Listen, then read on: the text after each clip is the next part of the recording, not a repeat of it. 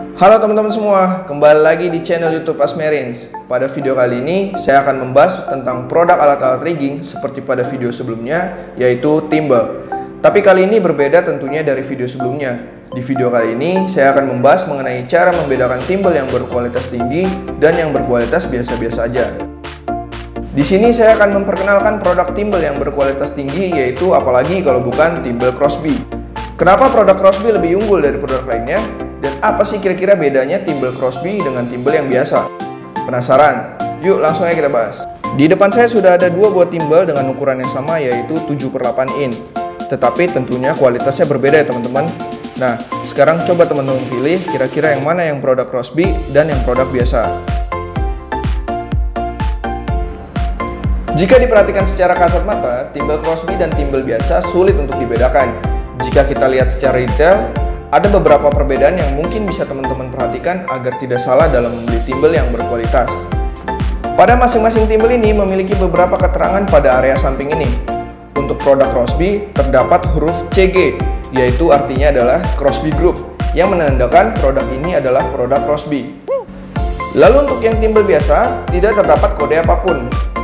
Lalu di sini sama-sama memiliki angka yang artinya adalah ukuran dari timbel ini.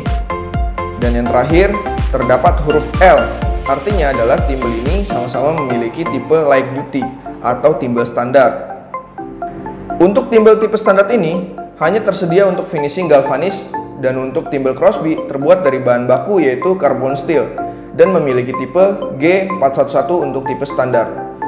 Untuk penggunanya sendiri, untuk penggunaan yang tidak terlalu berat ya, seperti untuk aplikasi pemuatan. Tipe standar ini digunakan untuk melindungi mata wearable sling agar tidak rusak karena terkikis oleh gesekan dan hentakan. Nah, untuk yang satu ini adalah timbal heavy duty. Jika di Crosby, tipe ini memiliki kode yaitu G414 yang memudahkan user dalam mencari produk Crosby menggunakan kode barang. Tipe timbal Crosby ini terbuat dari bahan baku yaitu carbon steel. Dan untuk timbal yang Crosby, terdapat dua jenis finishing yaitu galvanis dan stainless steel. Untuk keterangan pada bagian samping masih sama dengan tipe yang standar, tetapi untuk tipe heavy duty terdapat huruf H yang menandakan timbel ini tipe heavy duty. Jika diperhatikan produk Crosby dengan timbel yang biasa secara kedebalan pun sangat berbeda. Timbel Crosby ini terlihat lebih tebal dibandingkan dengan timbel heavy duty yang biasa, dan timbel Crosby tidak mudah melekuk saat digunakan. Timbel heavy duty ini digunakan saat penggunaan untuk lingkungan yang lebih korosif dan memerlukan perlindungan yang lebih besar agar dapat melindungi mata wearable sling dari kerusakan akibat hentakan dan gesekan. Timbel heavy duty ini memiliki perlindungan yang kuat terhadap kausan dan kerusakan pada mata wearable sling. Dan yang terakhir yaitu timbel solid, yaitu jika di Crosby memiliki tipe S412.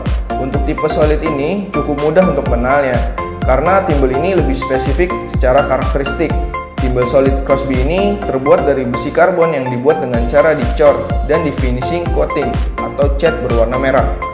Untuk timbal solid Crosby direkomendasikan untuk penggunaan pada aplikasi pendant atau boom pada crane.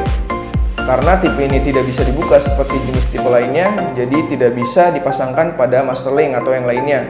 Jadi timbal solid ini dikhususkan untuk dipasangkan dengan wire sling dengan terminasi soket tipe open spelter socket atau swag socket. Perbedaan yang selanjutnya adalah sertifikat.